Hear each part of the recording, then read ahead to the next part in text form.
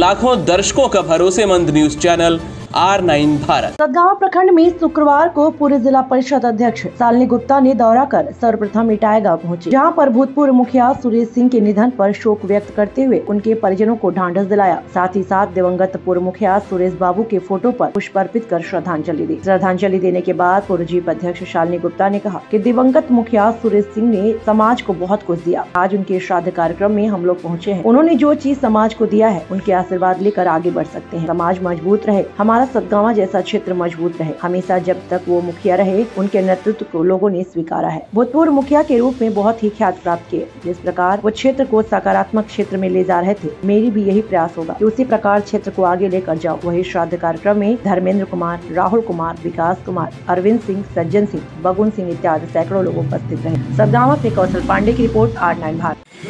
Madam, आज जो मुखिया जी को श्रद्धांजलि दिया गया है। तो उनको लेकर के क्या बोलना चाहेंगे?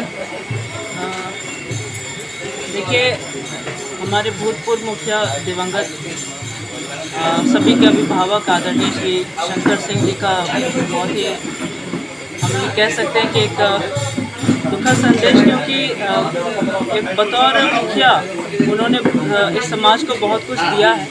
तो निश्चित तौर पर आज उनके कार्यक्रम में, उनके श्राद्ध कार्यक्रम में हम लोग पहुँचे हैं तो पूरे भावभीनी श्रद्धांजलि के साथ आज हम लोग उनके कार्यक्रम में पहुँचे हैं।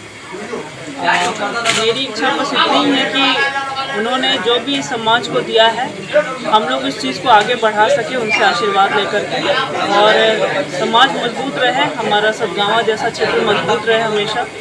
और पूरे क्षेत्र में आज, जब तक वो मुखिया रहे, लोग उनके नेतृत्व को स्वीकारे हैं भूतपूर्व मुखिया के रूप में काफ़ी ख्याति उन्होंने प्राप्त की है। तो मेरी भी यही कामना है कि लगातार जिस प्रकार से उस समय में वो बिल्कुल सक्रियता के साथ, एक सकारात्मक, सकारात्मकता के साथ आगे बढ़े, क्षेत्र को आगे लेकर के गए, मेरा भी यही प्रयास होगा कि क्षेत्र हमेशा मज़बूत धन्यवाद मैडम।